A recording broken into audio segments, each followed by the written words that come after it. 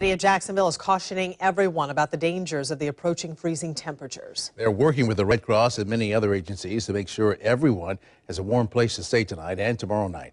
Well, Channel 4's Elizabeth Campbell spoke with some of those agencies and has more on the city's preparations. The city says young children, elderly, and the homeless are most vulnerable to the cold, and the Red Cross says they prep for situations like this all year, and they are ready if any help is needed. Everybody involved with this cold night shelter will be volunteers, um, and we have people specifically trained to uh, lead the shelter.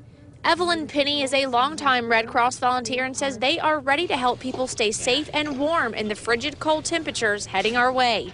The local Red Cross chapter will stand by and will help any shelter or family who needs assistance. We're just basically preparing right now um, by getting volunteers on standby, uh, places on standby, and our supplies on standby.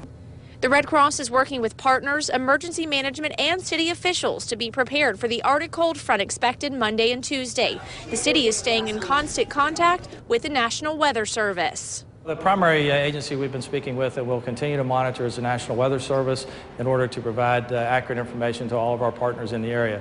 Uh, all of the city agencies uh, were on a call today along with many of our military partners to ensure that they also have that same information. Steve Woodard with Emergency Preparedness says the city is also closely working with shelters and the Red Cross to make sure everyone in Jacksonville has a place to sleep. Uh, we're coordinating with all of the uh, agencies, American Red Cross, the Salvation Army uh, to ensure that there is adequate uh, shelter space, particularly in the downtown area. Uh, those uh, shelters uh, will be opening extended space. The Jacksonville Day and Resource Center is typically closed on Tuesday, but will be open tomorrow to make sure they can help anyone who needs assistance. Reporting downtown, Elizabeth Campbell, Channel 4, the local station.